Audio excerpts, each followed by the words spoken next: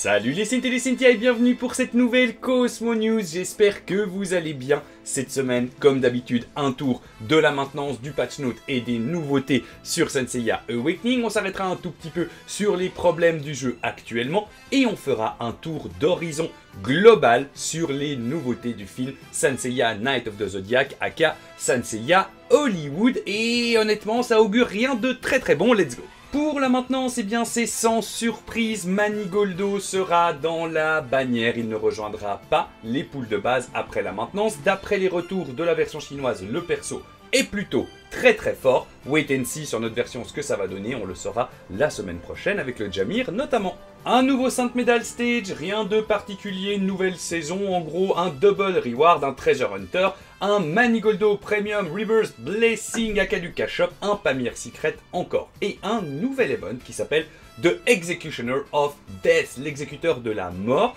Je ne sais pas exactement ce que c'est, ça commencera le 7, donc demain et ça ira jusqu'au 14.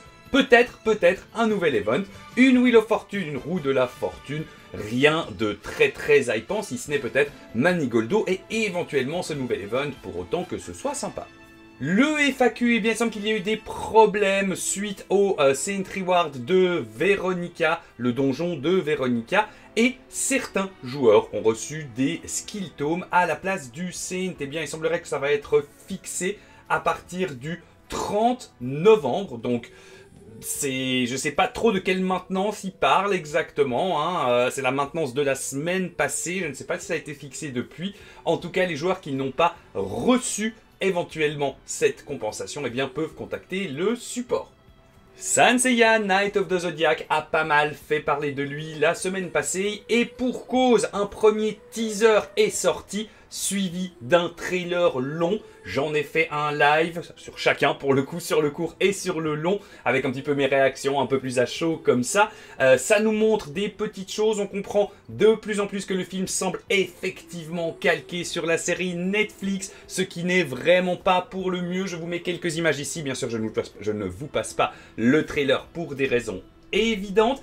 Il semble aussi, d'après le trailer en tout cas, qu'il n'y ait pas particulièrement les Big Five. Hein. Ça semble être vraiment centralisé sur Seiya, quelques armures d'or. Évidemment, euh, c'est possible que ce ne soit pas du tout le cas, mais en tout cas, on n'a aucun teasing d'aucun des autres personnages, Akashon, Yoga, Shiryu et Iki. On va voir aussi un petit peu ce que ça donne à ce niveau-là. Je vais pas faire un retour complet, hein. j'ai fait deux lives là-dessus, peut-être que je ferai une vidéo quand on aura encore un petit peu plus d'infos, euh, qui, qui synthétise un petit peu tout ça. Mais effectivement, c'est pas génial, génial à première vue. Évidemment, il faut attendre d'avoir vu le produit final pour vraiment pouvoir en juger. Mais en tout cas, ça semble pas très bien, engagé. Hein. Les armures font plutôt cheap. Elles cadrent pas vraiment, vraiment bien avec l'univers de Sanseiya, avec les armures que l'on connaît, même si on sent qu'ils ont tenté de faire quelques trucs. Je vous mets là quelques euh, images, quelques photos des coulisses avec les armures des chevaliers d'or. Alors là, on a le Sagittaire et le Capricorne et un autre chevalier que je n'arrive pas à identifier très honnêtement, là, avec une espèce de,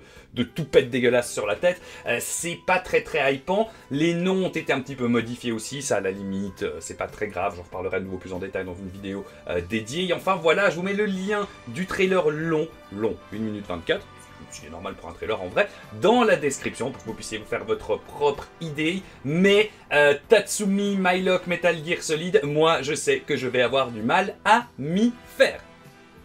Donc un trailer, des nouvelles informations de casting, des photos, des coulisses, mais on n'en sait finalement pas beaucoup beaucoup plus hormis ces images que l'on peut analyser un petit peu sous tous les angles. Ce qu'on peut dire c'est que il va falloir que qu'il nous ait montré le pire pour que ce soit bon. J'espère que le film sera au moins ok et qu'on sera pas sur un bon gros nanar des familles un petit peu à la Super Sentai. Hein. Là pour le coup, il y a un petit peu ça qui ressort, ce côté euh, entre Super Sentai et Marvel. Et je trouve pour l'instant que c'est bien dommage.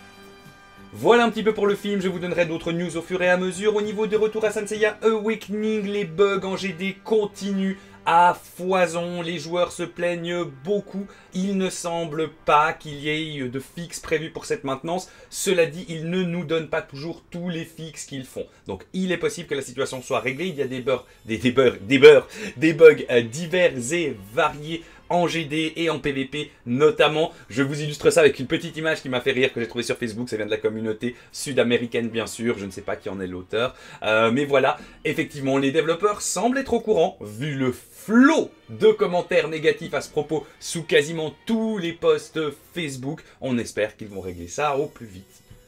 Toujours pour Senseiya Awakening, je vous passe là sur le fond le trailer du tournoi qui est organisé par Cultura Event et CMAG qui se passera le 28 janvier et le 29 euh, janvier. Ce sera un tournoi en mode balance. Vous pouvez vous inscrire, je vous mets là aussi le site dans la description. Il y a quand même un assez gros cash prize. En revanche, il y a un petit frais d'entrée. Je vous laisse aller voir tout ça sur euh, le site si ça vous intéresse. Si vous souhaitez participer, je trouve ça plutôt sympa qu'il y ait une initiative de ce type-là. Essayez un petit peu de dynamiser ou de redynamiser euh, les tournois autour de Senseiya Awakening grâce au mode balance. En tout cas, voilà le lien du trailer dans la description et le lien du site dans la description aussi.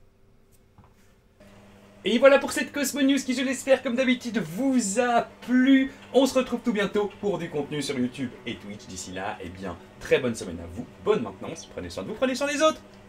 Ciao